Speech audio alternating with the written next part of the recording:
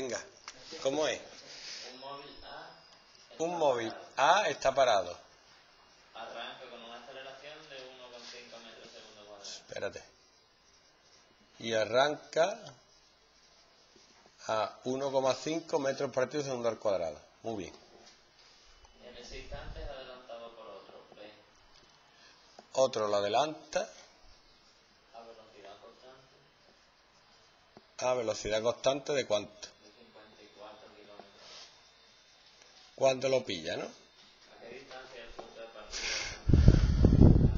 Muy bien. 54 kilómetros hora son 54.000 partido 3.600, ¿Y qué velocidad llega?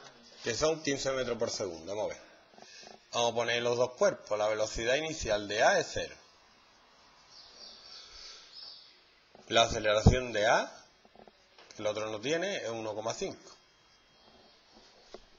El espacio inicial para los dos es 0. Ponemos el espacio cuando los dos están juntos. La velocidad de B es 54, como he dicho que es 15 metros por segundo. Y el espacio inicial de B es 0. Entonces este ya es un movimiento rectilíneo uniforme, cuya fórmula es el espacio recorrido es igual al espacio inicial que es 0 más la velocidad por el tiempo.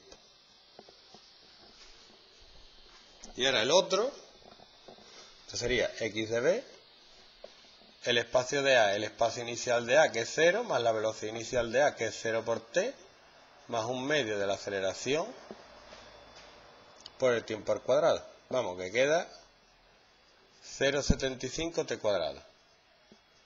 Entonces, ¿cuándo los dos se encuentran? Cuando esto, x de a, sea igual que x de b. Esa es la condición. Yo le llamo condición. X de a igual a x de b. ¿Vale? Me queda 0,75 t cuadrado tiene que ser igual a 15t.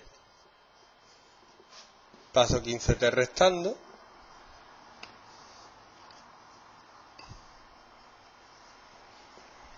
Y saco factor común la t. Entonces una de las soluciones es t igual a 0 o 0,75t menos 15 igual a 0. Y de me sale el tiempo. 15 partido 0,75, 20 segundos.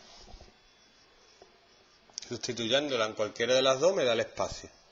Aquí sería 15 por 20, 300 metros. Y aquí sería 0,75. Me tiene que dar lo mismo. Lo estoy haciendo dos veces para que tú lo veas. Por 20 al cuadrado, 300.